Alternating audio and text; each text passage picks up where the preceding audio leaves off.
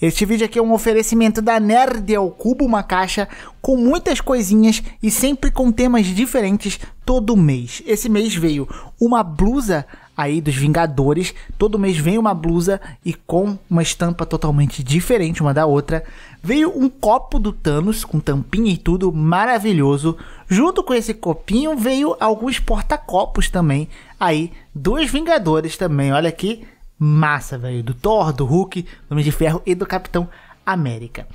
Veio uma plaquinha de porta também, que você pode colocar pra pessoa entrar ou pra não entrar, tipo, tá ocupado.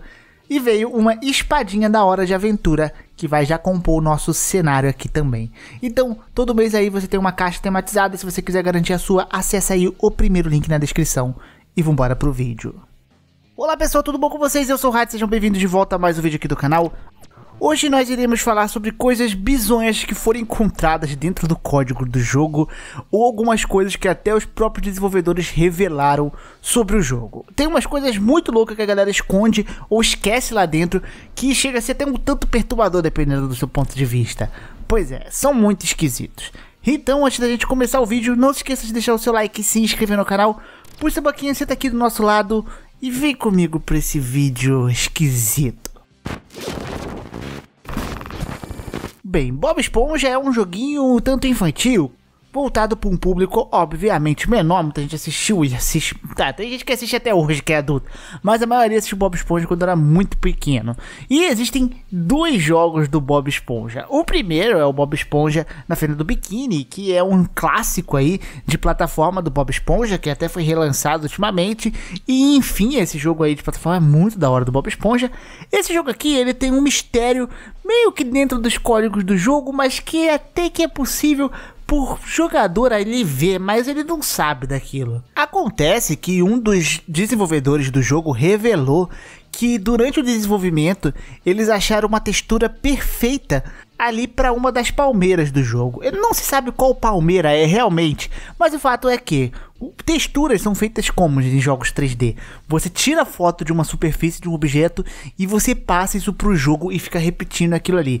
Então textura geralmente, né, ou tem as texturas 3D também, mas geralmente texturas são feitas a partir de fotos do objeto. Então, se você vê uma madeira no jogo, provavelmente foi uma madeira que foram tiraram foto, adaptaram para ficar numa madeira do jogo na forma 3D lá, tá? Basicamente assim que funciona texturas. E uma textura das palmeiras, né? O cara achou perfeito a textura de um toletão. Pois é, de um pedaço de buesta. O cara pegou, não sei se ele achou na internet, sei onde que foi, tirou foto, ele mudou as cores, adaptou as cores e colocou em uma das palmeiras do jogo. Ou seja, uma das palmeiras dentro do jogo do Bob Esponja é feita de puramente bosta. Só isso né? Não se sabe, geralmente. Tem teorias de quais são aí, né? Enfim, estão vendo a imagem de uma aí que pode ser candidata a Palmeiras de Bosta, mas podem ter várias outras. Ou seja, todas as árvores ali que você passou no Bob Esponja, se você for jogar, você vai olhar de outra forma agora, eu te garanto. E seguindo para outro jogo de Bob Esponja, aqui nós temos o Super Sponge, esse jogo lançado pela THQ em 2001. Esse jogo teve um processo um tanto ali conturbado, desenvolvedores falam, tá? E a gente consegue ver até no reflexo do código, talvez. Ou da equipe que era zoeira pra caramba. Como se não bastasse já esse Bob Esponja com a cara de psicopata danada durante os saltos de plataforma, esse jogo aqui era, era tanto perturbador quando os caras decidiram liberar o código aberto na internet. Afinal, já faz muito tempo que o jogo saiu. E a galera que foi analisar o código e ver as coisas ficaram um tanto assustadas. Primeiro que o código existia diversos palavrões nos comentários, em nome de variáveis, enfim. Os caras mandavam várias palavrinhas ali maneiras na hora de se comunicar por código. Sério, é, é, era meio bizonho, né? Só que como se não bastasse, existiam uns rabiscos dentro do arquivo do jogo de imagens um tanto inapropriadas do Bob Esponja. Pois é, do Bob Esponja com Patrick, do Patrick com outros personagens e assim, né? Então, meio esquisito. Óbvio que eu não vou poder mostrar aqui, vou deixar um site na descrição que mostra esses arquivos aí, né, que foram deletados do jogo. Mas uma delas que a gente pode mostrar aqui era uma espécie de Bob Esponja que os caras desenharam como uma dominatrix, sei lá que é isso, velho. Um Bob Esponja lá, full fetichão lá, com chicotinho e salto alto, mané. Olha os negócios, né? Então esse aqui talvez seja um dos mais bizarros que tinha coisa ali por trás. Você joga um jogo inocente, infantil, inclusive foi listado entre aí top 10 jogos para você jogar se você é criança, você tem uma criança. Ainda bem que isso aqui tá por trás, não dá pra ver o negócio, né? É, mas é meio esquisito. E nós temos aqui o jogo Catherine, esse jogo que eu já recomendei em alguns vídeos aqui, um tanto desconhecido, mas extremamente divertido, que basicamente é um jogo que conta a história de um personagem com duas Catherines na sua vida, né, entre uma outra Catherine, uma com K e uma com C, e aqui durante os seus sonhos você precisa puxar blocos, senão você falece na vida real. É basicamente um jogo diferentão, mas muito da hora. Mas uma das coisas que foram descobertas ali, espionando, dando uma abertura no código do jogo e alguns arquivos, foi uma música aí que não foi usada no jogo. Por quê? Porque essa música é simplesmente uma versão remixada da batalha do Pokémon. Sim, os caras pegaram uma música de Pokémon, remixaram com uma riff de guitarra e iam simplesmente colocar no jogo. Dá uma ligada aí na música, é igualzinho.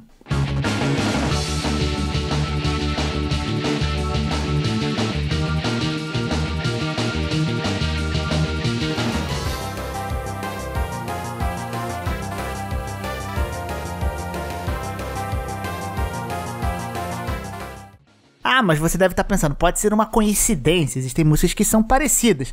Poderia, de fato, exceto que pelo nome do arquivo era PKN underline BTL underline loop, ou seja, Pokémon Battle underline loop. Até o nome do arquivo falava que era Pokémon. Bem, ainda bem que isso aqui não saiu a público, porque senão, obviamente, eles teriam que pagar um bom dinheirinho a Nintendo até ter que tirar o jogo do ar. E o esquisito é que isso aqui não é uma versão, sei lá, de teste. Eles perderam tempo remixando a música. Se fosse só uma música de teste, eles talvez colocariam a original, né? Você coloca o original para testar ali o som saindo e tal, depois você ia mudar de qualquer forma.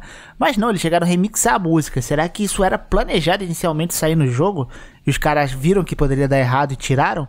Não sei, mas tem uma música de Pokémon remixada dentro de Catherine. Nós temos aqui nosso queridíssimo Spyro, a Hero's Tale, lançado em 2004, né? E esse jogo foi descoberto aí uma forma de acessar e também eles descobriram ali, com base no código, um level secreto, né? Entre aspas, secreto, que não era usado pelo jogador, você não podia entrar lá de forma natural, a não ser realizando uma série de procedimentos, bugs ou usando códigos dentro do jogo. O fato é que essa fase não estava acessível para ninguém. E ao você entrar na fase, é simplesmente uma fase bonita, cara, é um castelão maravilhoso maravilhoso ali, né? Onde você pode explorar e tal. As físicas não estão funcionando muito bem, mas enfim. É uma fase bonita e uma fase completa, né? E aí ficaram perguntando por que diabos essa fase está dentro de Spyro, um castelão assim que não foi nem sequer usado. Na verdade, esse castelo é totalmente retirado de um outro jogo. Sim, Harry Potter a Câmara Secreta do PlayStation 1. Esse jogo aí foi desenvolvido também em partes pela empresa que desenvolveu o Spyro, a Eurocom.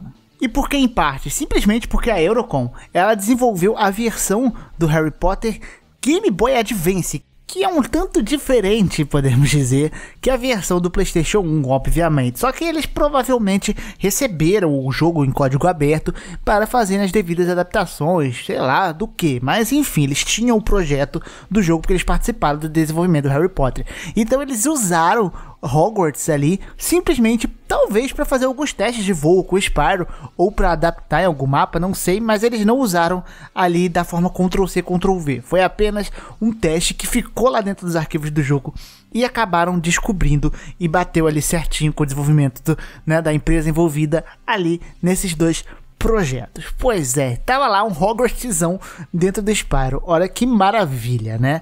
E meus queridos, esse aqui é o vídeo. Eu espero que vocês tenham gostado. Se vocês gostaram, não esqueça de deixar seu like, se inscrever no canal. Um grande beijo, um grande abraço. Fico por aqui, um beijo no popô. É nóis e fui!